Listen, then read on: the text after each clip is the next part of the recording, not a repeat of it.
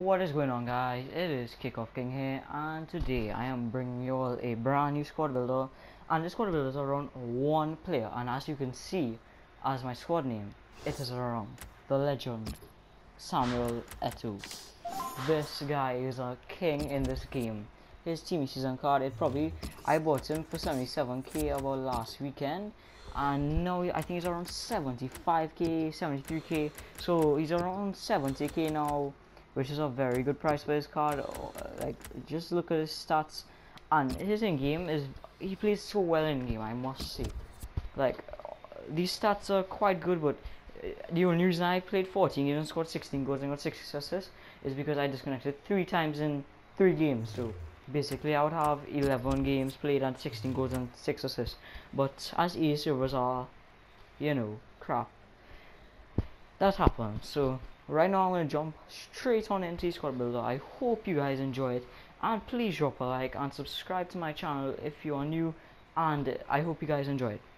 I'll see you in a while.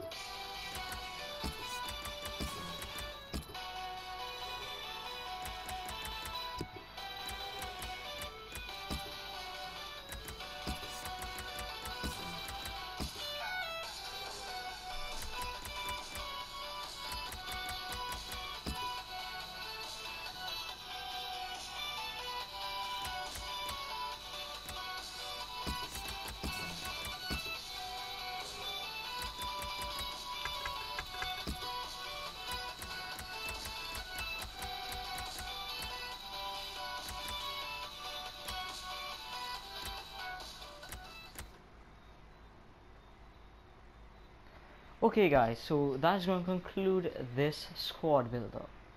I hope you guys enjoy this Turkish League side I made around the King Samuel Eto'o and if you all really enjoyed this please tell me if you all did in comment section i really appreciate if you all like and subscribe and also comment on who else you like me to do it on i will do it on any player you want except for like Messi and all them because I can't afford them at the moment. Only like players are under like 200k. Like you see how the new international money match cards came out. I could do that for you all as well. So if you want that to happen, I could do that for you all if you all want. Just let me know. It does not bother me. I will do it for you all. Okay. So I hope you guys enjoy this. So I will see you guys in the next squad builder and uh, peace.